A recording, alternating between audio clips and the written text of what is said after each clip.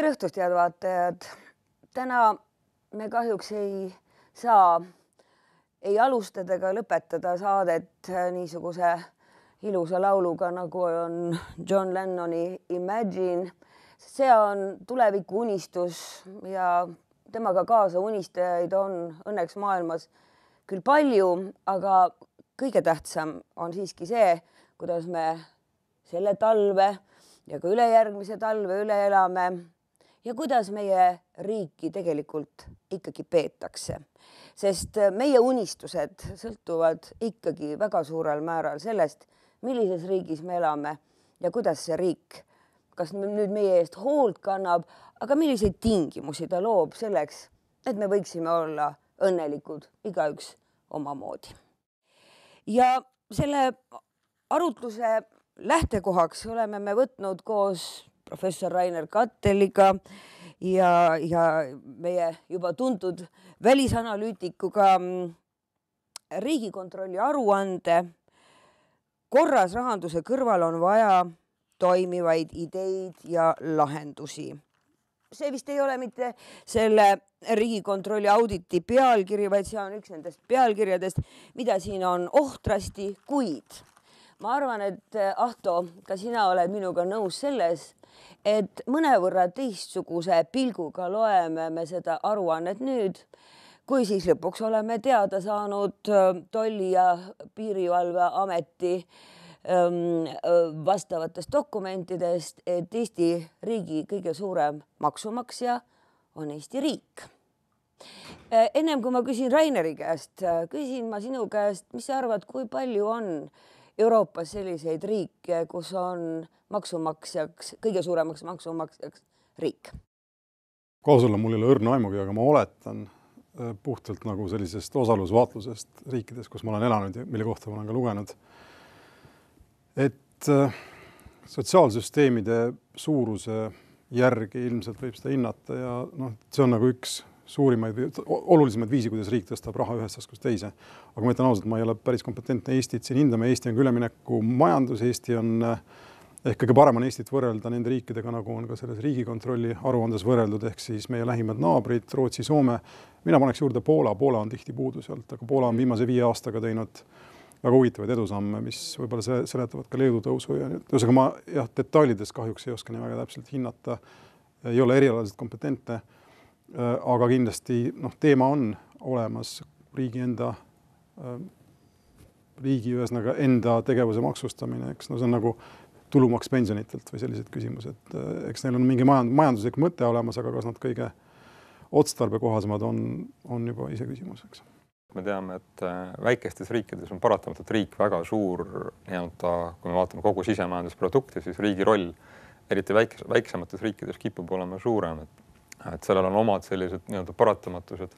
kuna noh, riik peab ikkagi mingisuguseid põhiteenuseid ka väga liberaalsetes riikides pakkuma, et kui me räägime siin äh, nii teede korrashoiust kuni äh, erinevate äh, siis turvalisusega seotud, julgeolekuga seotud, tervishoiuga seotud, tuletõrjet, mis iganes, et me ei saa nagu, me võime üritada muidugi kõike seda ka erastada, aga seal ikkagi mingisugune riigi kontrolliv joon jääb sinna juurde, nii et meil on vabatahtlikud, meil ei ole isegi mitte erastamine, vaid meil on vabatahtlikud tuletõrjujad, päästjad just, et noh, selles mõttes ma arvan jah, et see, et väikeriigi puhul tegelikult see paradoks nagu on, et, et meil on väike riik, aga samas riik ise selles väikse riigi sees justkui on päris suur, et see ei ole mitte ainult Eesti fenomen.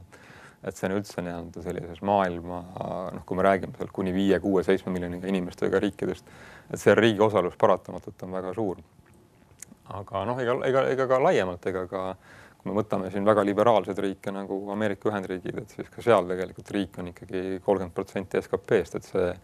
et kui palju ta seal see maksumaksja on, ma arvan, et ta on ka tegelikult väga suur maksumaksja, et, et et just nimelt nende üksikisiku tulumaksu mõttes ja, ja mis iganes. aga tunnistagem seda, et Ühendriigid ei ole kunagi ka seda varjanud. no pigem vastupidi, olenevalt nüüd sellest, kas võimul on, on vabariiklased või, või demokraadid, ma usun, et eriti demokraadid tahavad rõhutada seda, noh, mida on, on riik võtnud enda kanda, sest et nende,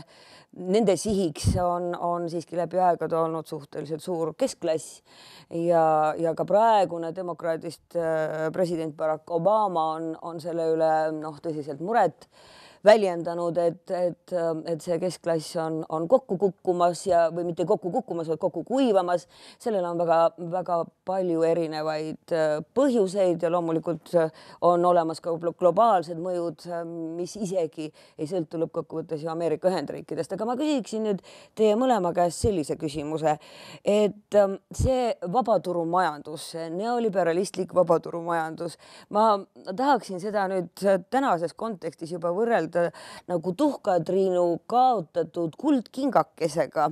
äh, mis jäi trepile vedelema ja mille korjas prints ülesse.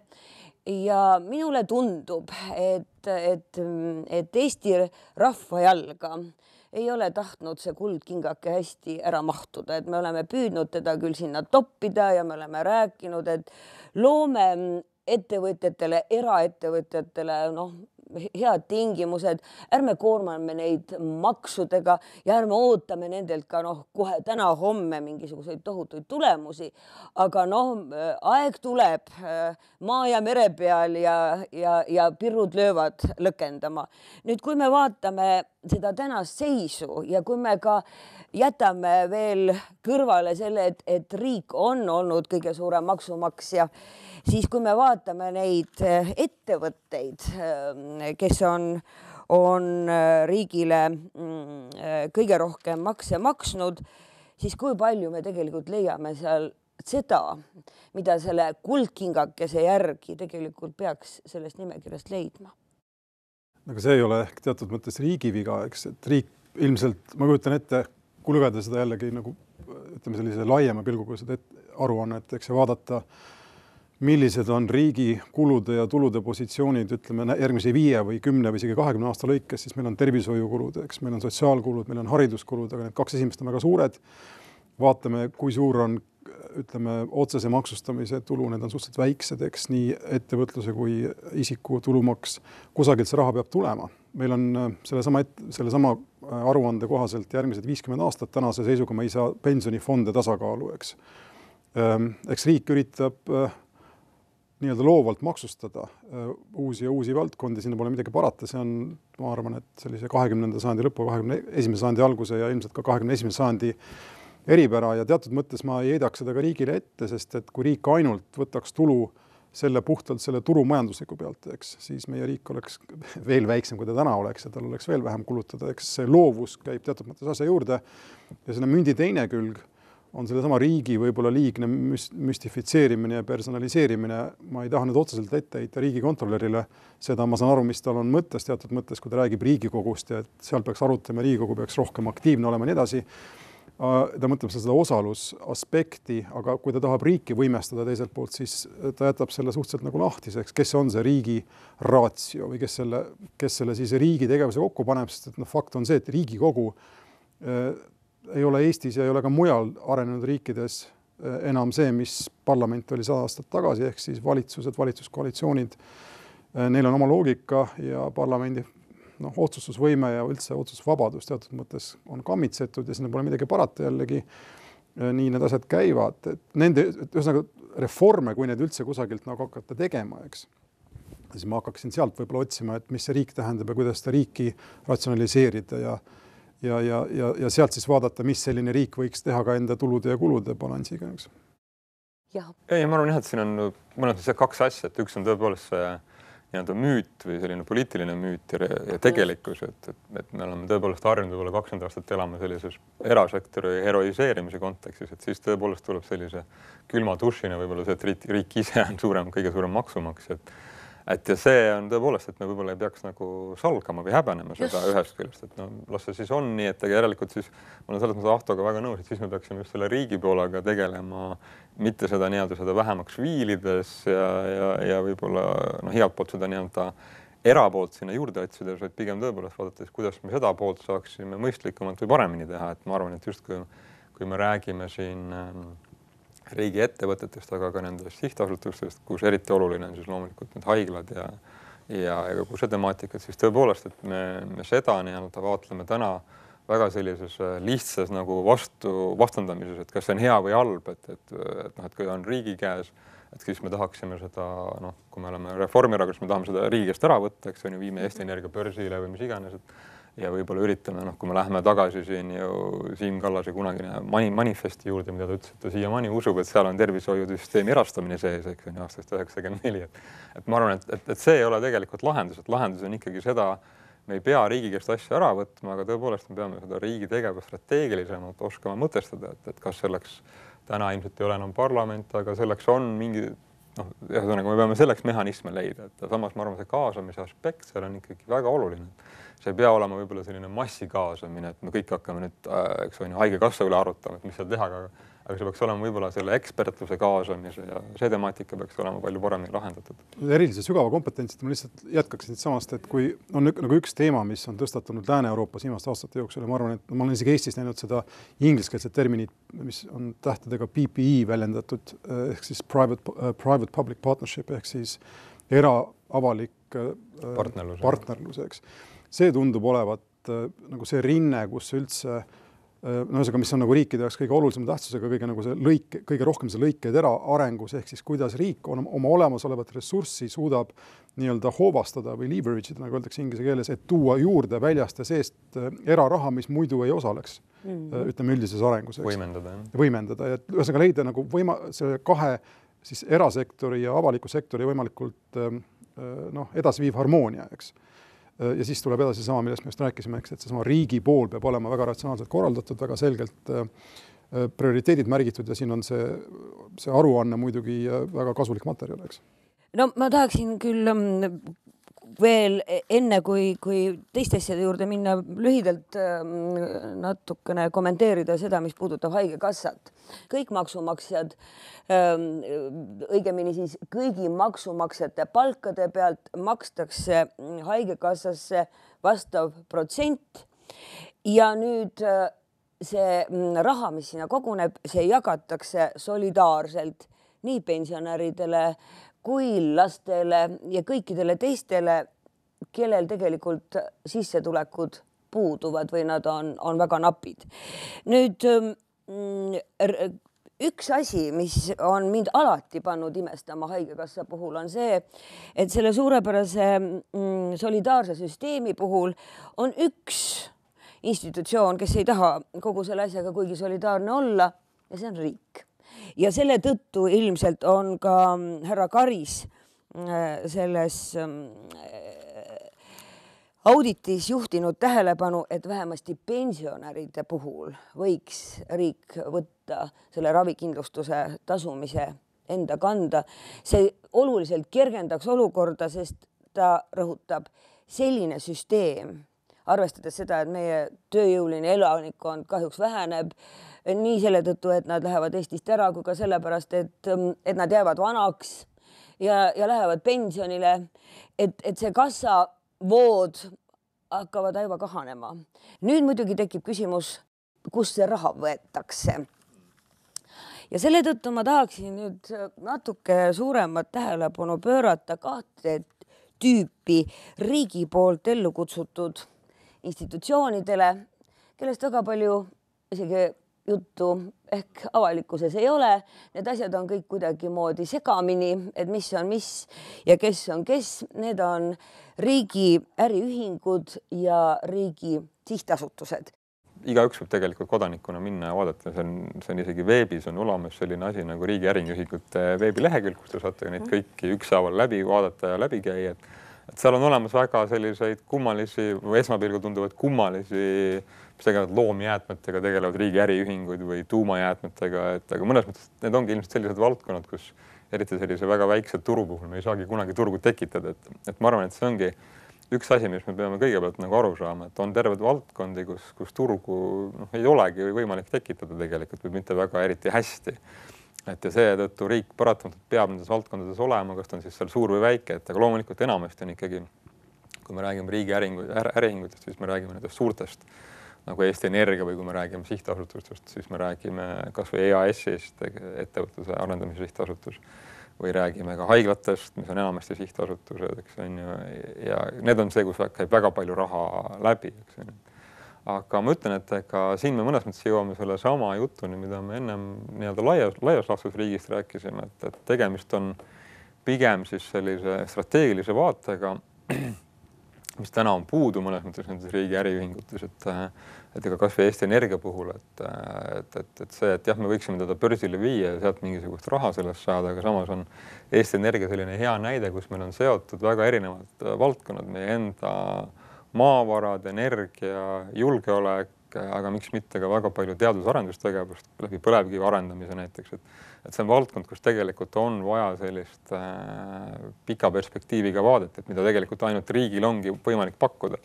ja ma arvan, et väga palju ka puudutab seda tegelikult haiglaid ja kõike muud, et, et me ei saa tegelikult nendes valdkondades sellist, võtta ainult sellist lühikest perspektiivi, et me tahame sealt nagu raha kätte saada meid kuidagi efektiivsemaks teha, mis on kindlasti ka õige, noh, osaliselt õige mõte, aga need on valdkonnad, kus me peame ikkagi mõtlema kolmekümne, neljakümne aasta peale ette ühel tavalisel eraäriühingul ei ole selleks, tal ei ole põhjust seda, sest neljakümne aasta pärast on kõik surnud. aga, aga siin on, siit koorub nagu üks, veel üks tasand, äh, mis nagu mulle paistab rohkem silma, see on see, et kui ma loen seda riigikontrolöri aruannet ja tema kõnet Riigikogus, siis ta otsib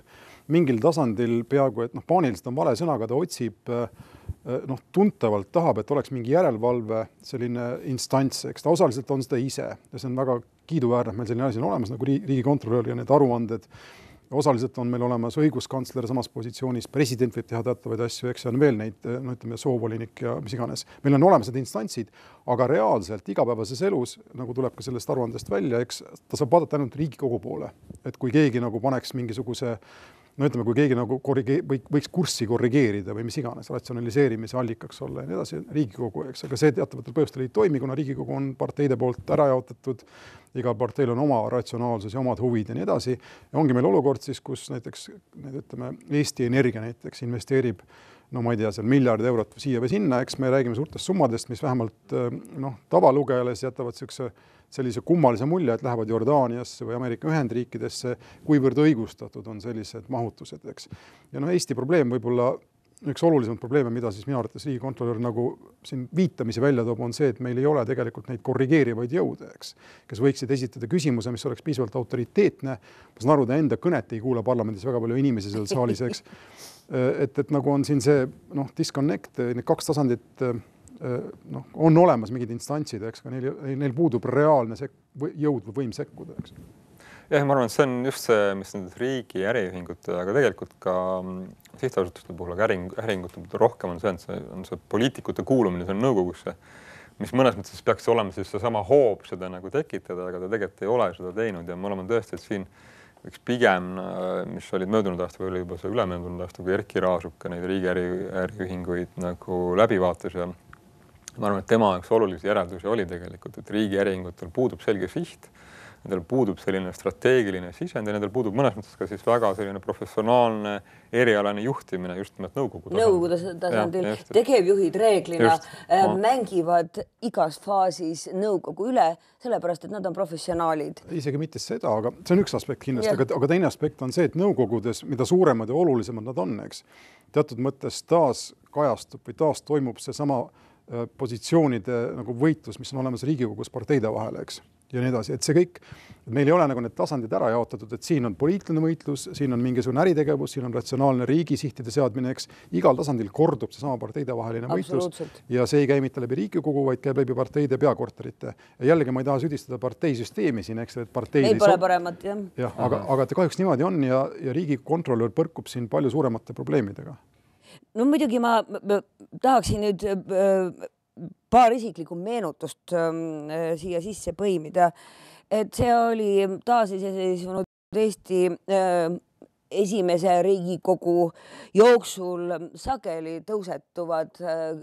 probleemid, üks nendest muuhulgas oli ka seesama, mis loom on riigi äriühing. sellepärast, et me noh, me kõik arvasime, et me hakkame nüüd elama natukene teistsuguses riigis ja me hakkame natuke teistmoodi toimetama. aga aga öeldi, et, et vaadake, noh, meil on olemas noh, tõesti niisuguseid teatud tegevusi ja funktsioone, et, me ei oska seda kusagile praegu panna, paneme ajutiselt paneme ajutiselt äh, noh, need nii-öelda riigi ähm, äri äh, nendeks äh, aktsiaseltsideks, et, et eks äriühinguteks, eks me pärast vaatame, me korrigeerisime selle ära. aga nüüd nii nagu sageli kõik see, mis on ajutine, kipub jääma väga-väga pikaks ajaks ja ma usun, et need inimesed, kes täna Riigikogus istuvad, nad, nad isegi ei tea et sellised tulised vaidlused omal ajal peeti. Ega tea tegelikult ka neid vastuseid, mida me tookord saime. Ja, ja noh, mille alusel siiski ka otsused vastu võeti ja kogu see süsteem käivitati, see on üks asi. Ja teine, mille ümber käis väga äge poleemika, oli seesama Riigikontroll. mina tahan kiita riigikontrolöre taasiseseisvunud Eestis läbi aegade võib-olla, et nad pärast ei ole olnud maailma parimad poliitikud, mõned nendest, aga tegelikult äh, oma tööd on nad teinud tões ja vaimus äh, ja, ja teeb seda ka mm, Alar Karis, kes on, on kõrgesti haritud, pidanud rektori ametit nii, nii, nii põllumajanduse alal kui ka Tartu Ülikoolis aga milles on põhiprobleem ja mille üle ka me tookord väga palju vaidlesime, on see, et kui nüüd ähm, Riigikontroll leiab selliseid ja selliseid puudujääke, siis kuidas ta saab kedagi sundida või volitada neid asju hakata parandama. riigikontroll on aastate jooksul juba ütleme paarikümne aasta jooksul tegelikult juhtinud nendele asjadele tähelepanu, mis tänaseks on saanud murelapseks aga sellele ei ole mingisugust reageeringut tulnud. Ja lihtsalt, et, et, et saada noh, niisugune e, ülevaade sellest, et kui olulised tegelikult need äriühingud, riiklikud äriühingud Eesti majanduses on, siis kahe tuhande kolmeteistkümnenda aprilli seisuga äh, oli riik kahekümne seitsme äriühingu ainuomanik ja lisaks kuulub riigile osaliselt veel üksteist äriühingut kahe tuhande kaheteistkümnenda aasta lõpu seisuga oli riigi äriühingute omanduses viie miljardi euro väärtuses vara ehk ligemale kakskümmend kolm protsenti avaliku sektori varast. see on väga suur protsent. ja riigi äriühingud investeerisid kahe tuhande üheteistkümnendal aastal seitsesada viiskümmend miljonit eurot ja seda on rohkem, kui investeeris mm, valitsussektor, valitsussektor investeeris kuussada seitsekümmend kaheksa miljonit. tähendab, me räägime väga suurtest summadest ja, ja probleemiks on see, kas need on sihipäraselt kasutatud. aga no ega riik investeeribki, ma oletan äh, suurelt jaolt nendesamade riigiettevõtete kaudu, kuna nad on mõeldud osalema turgudes, eks see iseenesest ei ole minu arvates äh, paradoksaalne, aga noh, siin on see on, ikkagi taandub sellele samale, mida me juba rääkisime, siin on eh, ühelt poolt on ebaefektiivsuse probleem, eks, korruptsioonivõimalused äh,, nii edasi, teiselt poolt on, nagu ütles Rainer, turusektoreid, kus lihtsalt ei ole võimalik ega mõtet ega noh, lootustki, eks, oodata, et äh, tuleks eraettevõtlus ja teeks selle ära, nii et, et äh, see on selline nagu öeldakse, case by case või selline noh, juhult juhule analüüs tuleks teha ja ilmselt on, tehaksegi, ega keegi pole ka päris rumal ja meil on, ma pean ütlema, et ametnikud meil näiteks Riigikantselei tasandil ja, ja on väga pädevad ja võimekad, et ma selles mõttes kogu riiki noh, niimoodi jalalt maha lüüa ei tahaks, aga Ei. aga need probleemid, kui nad on, on minu, noh jällegi minu jaoks veidike teisel tasandil, ma ei ole majandusinimene, eks, aga ma vaatan ühtepidi, et meil tõusevad äh, näiteks äh, sama vanadusprobleemi, eks, ja pensionid ja nii edasi ja teistpidi vaatan, et sellesama aruande järgi kümne aastaga on koolides õpilaste arv vähenenud veerandi võrra ehk siis viiskümmend tuhat inimest, eks. no ilmselgelt on siin olemas totaalne disbalanss või tasakaalust väljas olek, eks, jällegi see on sama see ühest taskust raha teise tõstmise moment on olemas, et ühtepidi riik äh, peab hoolitsema nende vanade inimeste eest, teistpidi ta laseb riik, noortel lahkuda ja neid poliitikaid siis, ja seal on kolmandad küsimused, kust, kus siis juurde tuua tööjõudu, eks, ja kõik need poliitikad ei ristu nagu. Ja see tekitab minus küsimusi, eks ja ma arvan ka, et see noh, enne kui ma neid riigi äriühinguid, et ma arvan tõesti selle Riigikontrolli aruande puhul, mida ma kõigile väga soovitan lugeda, sest see on küll pikk, seitsekümmend lehekülge, aga ma arvan, et see on ikkagi väga hästi kirjutatud ja ah. väga heal tasemel analüüs, et ja teades neid inimesi, kes seal töötavad, ma arvan tõesti, et, et ma olen väga nõus, et Riigikontroll teeb väga head tööd teeb. ja on aastaid teinud, et ja võib-olla tõesti nende probleem on see, et nad saavad väga konkreetset tähelepanu juhtida siis, kui on tegemist juba seaduse rikkumisega, et oli ka eelmine nädal oli ajalehes, eks on ju, Kultuurkapitaliga jällegi need äh, probleemid üleval, siis on Riigikontrollil nagu tugevad hoovad, aga aga just sellesama strateegilise nii-öelda panuse puhul, mida me oleme siin väga palju juba maininud, on Riigikontrollil võib-olla hoovad või need tiivad liiga lühikeseks kärbitud, et meil on tõepoolest see, mida ka äh, mida ka ju täna tegelikult võib-olla riigi Reformierakonnast näiteks Rait Maruste tunnistab, et meil on täitevvõimu poole on riik väga kaldu, ehk siis täitev nii-öelda ministeeriumite, eriti siis peaministri eh, nii-öelda büroo poole, aga noh, mõnes mõttes ka rahandusministeeriumi poole või ütleme siis üldse ministeeriumite poole väga tugevalt kaldu, et et neid nii-öelda vastukaalujõude meie riigis on väga vähe, et kui me vaatame selliseid klassikalisi Euroopa riike, siis seal on need vastukaalujõud välja kujunenud pika ajaloolise ja väga sageli ka veriste võitluste tulemustena, on need siis ametiühingud või mingisugused isegi tööandjate ühingud, eks ju, et et mis on selleks välja kujunenud, aga meil neid ei ole ja tõepoolest siis, siis tekibki nende samade riigi äriühingute puhul see küsimus, et et kuhu investeeritakse ja kuidas, et see jääb väga paljudele tavakodanikele, aga isegi ma arvan, tegelikult poliitikutele arusaamatuks, et kuhu see nagu raha läheb, et ma arvan, siin on seda diskussiooni laiemat vaja ühest küljest on vaja kindlasti seda professionaalset nõukogu tasandil juhtimist, kus tõepoolest oleksid maailmatasemelt spetsialistid. aga teisest küljest ma arvan, tõepoolest riigil ei pea näiteks olema Saku Suurhall ei pea olema riigi oma, ma arvan, et see, mis täna on riigi oma, selles mõttes, et ma arvan, et see on absurdne. Aga see mingisugusel kriisiaegsetel põhjustel sinna sattunud ja, ja nii edasi, et aga teisest küljest näiteks Estonian Airi puhul on, ma arvan, väga oluline see küsimus, et me võime tõepoolest nii-öelda hakata äh, Äh, seda ja noh, mida, mis meil tegelikult oleks vaja selliseid ausaid arvutusi teha, et me oleme perifeerne Euroopa riik. meil on vaja otseühendusi nii-öelda väga mitmesse Euroopa tippkeskusesse või tõmbekeskusesse, mis see meil maksa läheb, kui me teeme seda riigi või äriühingu kaudu, et et selle või siis eraettevõtete kaudu, et ma arvan, et selliseid nii-öelda nii-öelda neid äh, arvutusi me täna võib-olla isegi ei oska väga teha, et, et see, ma arvan, on see probleem. jälle selline laiem tasand tuleb äh, silme ette, mõeldes sedasama ähm, või noh, sedasama, ütleme lennu, lennuliiklust, eks ta on ka mõnes mõttes ühiskonna enesetunde küsimus, eks, ja siin on palju aspekte, mhm. mis ei ole isegi kvantifitseeritavad. aga samas, tulles tagasi selle riigi rolli juurde, siis mul tuleb lihtsalt üks näide ja üldse mitte nii väga turuliberaalsest majandusest, see on Saksamaa Mhm. kahe tuhandendate aastate alguses kriisis olles Gerhard Schröderi valitsuse ajal tegi otsuse äh, radikaalselt põhimõtteliselt muutis poliitikat, hakkas toetama tööjõuturu meetmeid, ehk siis ähm, hakkas toetama ettevõtteid, kes muidu oleksid lihtsalt töötajad lahti lasknud ning tegi seda siis teadlikult, et mingil hetkel hakkab majandus taas tõusma ja need ettevõtted oleksid kohe valmis tegutsema ja see, need reformid õnnestusid, selles mõttes ta toimis. aga no Eesti esiteks ei ole väga eksportmajandus selles mõttes, eks äh,. aga no ma ütlesin, et see on nagu näide sellisest meetmest, mida võiks riigi tasandil oodata, aga ta nõuab väga põhjalikku järelemõtlemist, ta nõuab ka poliitilist konsensust, nõuab ka poliitikute teatavat, ütleme noh no seda nii palju vahele, et, et, et sotsiaal, tähendab selles um, Saksa põhiseaduses on selgelt fikseeritud, Saksamaa on sotsiaalriik ja, ja selles mõttes on noh, see, kui soovite, see on must, et riik peab sellistes kriisiolukordades e, e, e, appi tulema ja, ja need, need noh, neid riske aitama maandada, see ei tähenda seda, et ta need ja, kõik ja. endale võtab, vaid see ongi tema ülesanne. see kõik on õige, aga ja. riigil on põhimõtteliselt kolm võimalust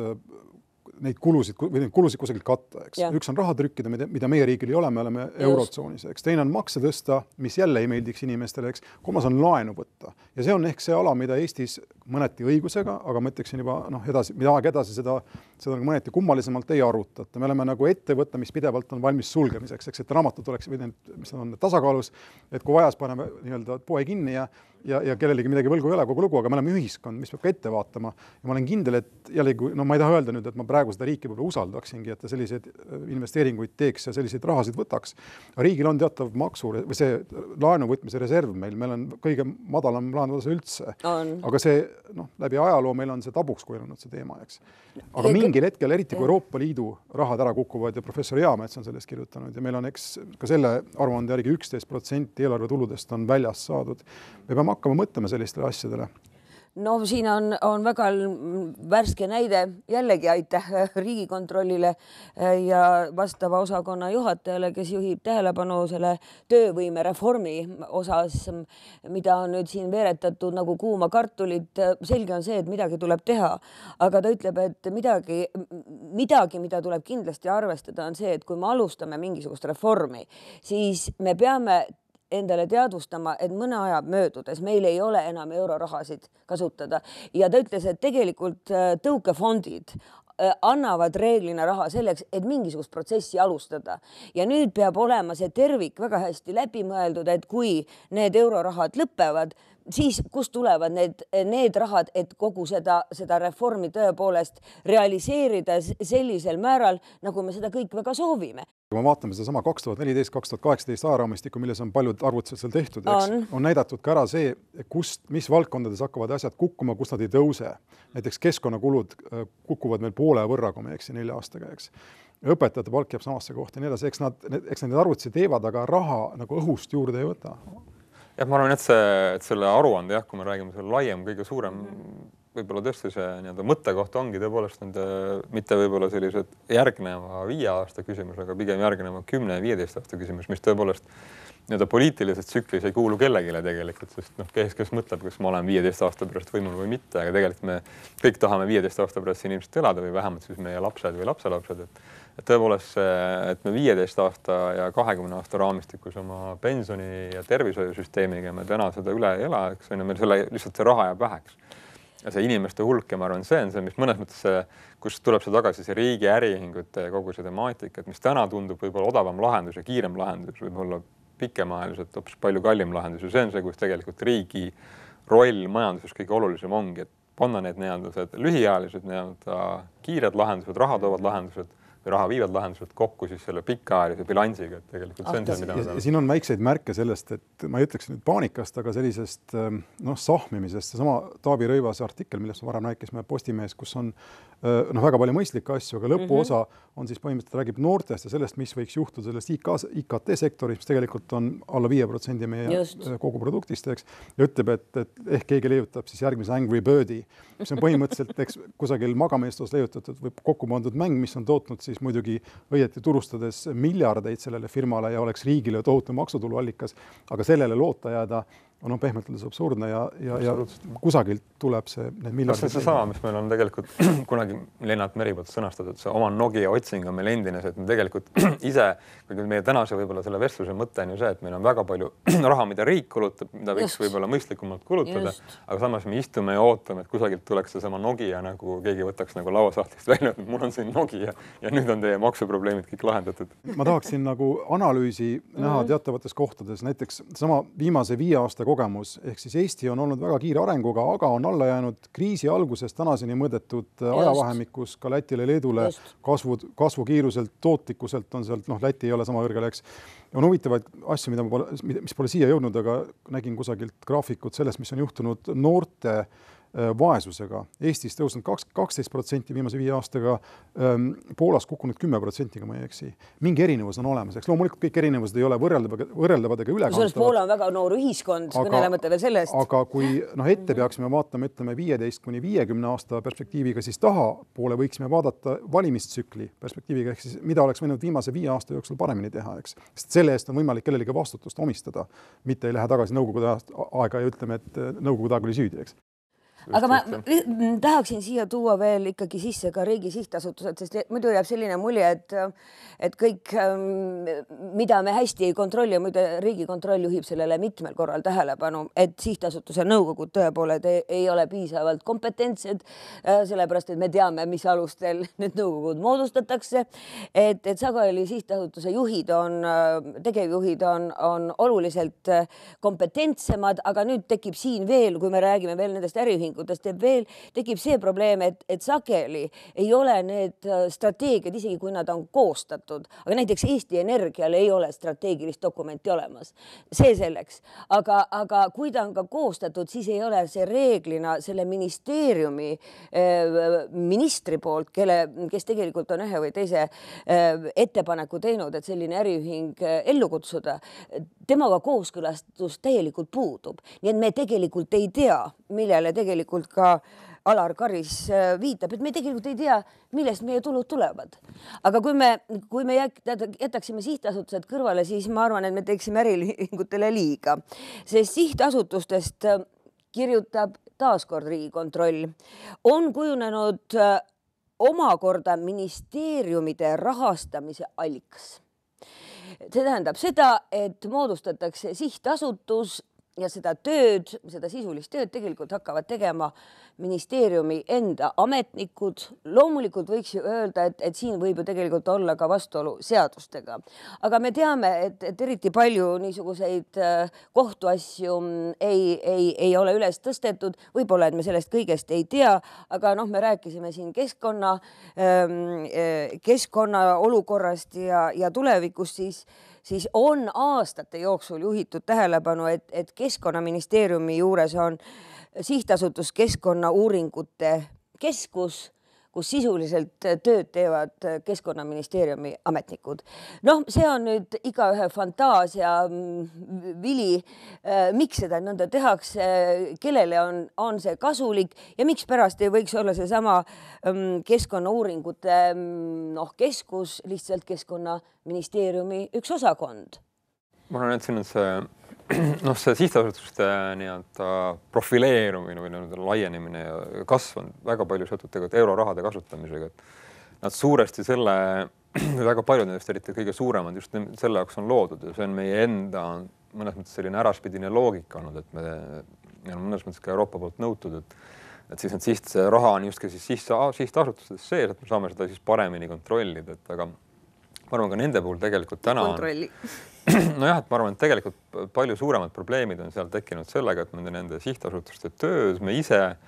neid kontrollib väga palju Rahandusministeerium kõige rohkem läbi selle, et seal oleks seda raha, noh, keegi kõrvale ei paneks ja nii edasi, et eurorahasid oleks väga hästi kasutatud ja tänu sellele on, on mõnes mõttes, ma arvan, ka nendes sihtasutustes tegelikult tekkinud selline paranoiline olukord, et ka nemad tegelikult ei julge väga võib-olla selliseid strateegilisi samme võtta strateegiliselt mõelda, et siis jällegi noh, sa satute, kui te olete EAS-is, siis te satute kohe Äripäeva esikaanele, et miks riik panustab sinna raha, eks on ju, et et noh, et ei ole sellist nagu pikemat vaadet ja mõtet ka seal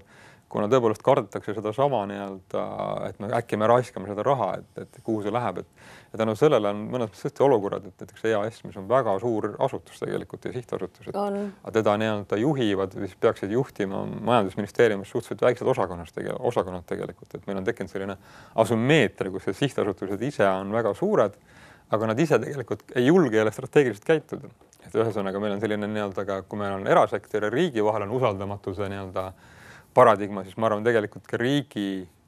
asutuste ja siis riigi nii-öelda sihtasutuste ja äriettevõtete vahel on omakorda veel usaldamatuse paradigma, et meil on selline usaldamatus ruudus, võime öelda, et aga ilmselt seda usaldust oleks võimalik äh, suurendada ikkagi selle kaudu, kui me räägimegi asjadest nii, nagu nad on.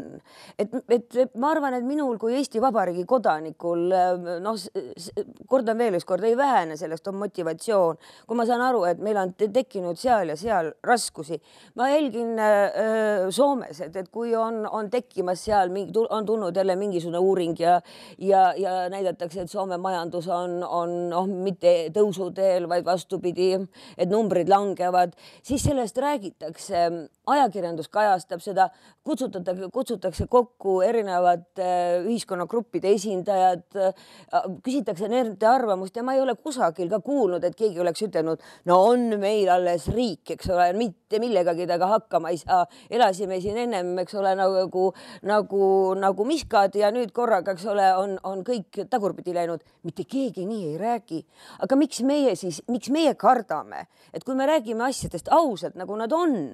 et, et, et siis noh, tekib mingisugune niisugune ebaterve vastureaktsioon, sest neid sihtasutusi, head sõbrad, on Eestis üle seitsmekümne. siin on ehk selline jälle laiem probleem, nagu Rainer ka viitas, et see asümmeetria ja mis on no mõistetav teatud mõttes need sihtasutused, eks eriti, mis tegelevad Euroopa rahadega, rahade eristu-, eristuvus on väga oluline ja sõltumatus on ilmselt ka oluline, eks, et ei ole tegemist riigieelarvesse lihtsalt lisatavate rahadega, eks. see loob oma probleemi selle asümmeetriaga koostoimes ja Eesti, ütleme sellise ühiskonna üldise arenguga koostoimes, et need inimesed, kes äh, mitte ainult ma ei räägi siin Eesti Energiast või Eesti mm., mis ta on see äh, see, millest me just rääkisime, see EAS-ist, eks mm. -hmm. Aga ka teistest, noh, mina isegi olen teatud mõttes tööl poole kohaga sihtasutuses, mis on. muide, tahtsin just küsida, ma arvan, et see on õigustatud. mis on teise aspektiga mm -hmm. ja see sõltumatuse küsimus nagu, kui ta nüüd ümber pöörata, siis tekib äh, ühesõnaga olukord, et jah, sihtasutus nagu oleks sõltumatu, aga tema juhid ei saa endale seda lubada, sest et Eesti on A väike ühiskond, B tihti nad on ise teiste kohtadega, kolmandate kohtadega ministeeriumides tööl, eks. et see nende tulevik sõltub sellest väiksest ühis, ühiskonnast ja kuidas keegi kellegi kätt peseb edasi, eks. ja noh, sellistes oludes see sihtasut-, need sihtasutused tihti ähm, on sellised noh, nagu tühjad kestad, et nad esindavad midagi, mida nad tegelikult no, aga vähemalt sa võid, ma, ma loodan, et sa võid kinnitada, et teie sihtasutus ei teeni raha äh, Välisministeeriumile? Äh, ei, aga ta ei ole ka sõltumatu. mis oleks see positiivne lõpusõnum tänasele saatele? No ma arvan, et ma ei oska öelda, kas see on positiivne sõnum, aga ma arvan, et me peame või võiksime vähemalt sellisest võitja mentaliteedist loobuda, et me oleme alati kõik kohutavad võitjad olnud, et ma arvan, et selles mõttes võib-olla oleks väga kasulik Eestile, kui meil ei oleks järgmises valitsuses näiteks Reformierakonda või see oleks vasakpoolne valitsus näiteks, et, et ma arvan, et võib-olla siis me ka kaotame selle hirmu ära, et, et äkki me, äkki teised on kõik rumalad, ei oska riiki valitseda, ainult ühed inimesed, kes on siis seda väga pikka aega teinud, oskavad seda teha, et sellest võib-olla, kui me loobume sellest, me saame aru, et kui tuleb teisest nii-öelda seinast või seina te, teisest äärmusest valitsus, et tegelikult nad ei tee midagi hullemini, nad võib-olla lihtsalt natukene panevad rõhuasetusi ümber ja võib-olla see ühiskonnale mõjub terve, tervendavana. et inimesed tunnevad, et me oleme ka sellest osa. ma arvan, võib-olla see oleks midagi huvitavat. Ma saan ainult jah, kahe käega nõus olla, et ega need lahendused ei ole, ei saa olla ettekirjutuste vormis, vaid lihtsalt, kui nad ikkagi on mingid toimivad lahendused, siis nad peavad tulema sellelt tasandilt, sealtsamalt poliitiliselt tasandilt, kus siis eneseregulatsiooni korras saadakse millestki aru ja avatakse mingid võimalused ja nii edasi, eks ütleme, valitsuse vahetus või valitsuspartei vahetus oleks väga tervitatav üldsegi mitte ideoloogilisest vaatepunktist, aga süsteemsest. Reformierakond minnes opositsiooni neljaks aastaks näiteks, eks saaks enda sisevaate rohkem korda endale võib-olla noh, ühesõnaga saaks vabamalt mõelda, eks ideid, uusi ideid genereerida, võib-olla ka põlvkonda vahetada päris korralikult ja sotsiaaldemokraatidel ja näiteks Keskerakonnal noh, tekiks võimalus harjuda ka jällegi valitsusvastutusega, eks korralikult ja, ja kujundada endas välja need ühele parteile väga vajalikud elemendid, mis on neil kauaks olemata või puudu jäänud, eks, ja see oleks nagu ühiskonna enesetervis-, tervistamise või tervendamise üks olulisi aspekte. no ma arvan, et teiega saab ainult nõus olla. tahan kaasa lüüa nii kaua, kui, kui jõuan. nii et järgmiste kohtumisteni ja tervishoiust me räägime veel eraldi, sest lõppkokkuvõttes äh, kõike võib raha eest osta, aga mäletate, grusiinlased juba teadsid, raha eest ei saa ka tervist osta, nii et kohtumiseni.